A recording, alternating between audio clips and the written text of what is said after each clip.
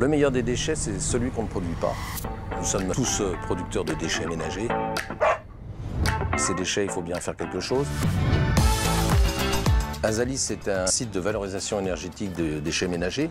Nous traitons 125 000 tonnes de déchets par an sur deux lignes d'incinération qui traitent 8 tonnes heure. Et nous produisons 50 000 MW par heure d'électricité par an, dont un tiers est utilisé pour l'usine et le reste exporté sur le réseau Enedis. Les principaux défis auxquels Azalis est confronté, c'est d'abord les rejets atmosphériques, vérifier qu'on respecte en permanence les normes environnementales.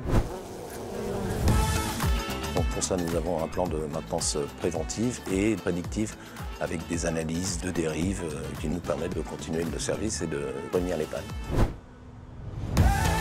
Nous avons décidé de moderniser notre installation électrique. Nous avons remplacé le poste haute tension. Nous devions remplacer les relais de protection qui étaient obsolètes. Nous devions également rajouter une cellule puisqu'on augmentait la capacité. Et donc nous avons décidé de remplacer la totalité du poste par des cellules SM6 et RM6 de Schneider Electric. Les équipes de Schneider Electric nous ont accompagnés bien en amont de ce remplacement afin de préparer le chantier au mieux et qu'on puisse remplacer dans un, délai le plus court possible puisque nos arrêts techniques sont relativement courts. La solution service plan de Schneider Electric nous a permis de mettre en place une maintenance prédictive pour éviter les interruptions de service grâce à la surveillance de nos installations par les experts du Connected Service Hub. Si un problème est détecté, nous recevons immédiatement une alerte et au besoin, un technicien peut venir sur site. Les données du poste et les rapports sont consultables en temps réel sur le portail MySchneider.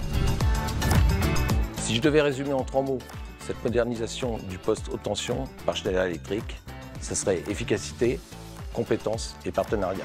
Et un petit dernier, sérénité.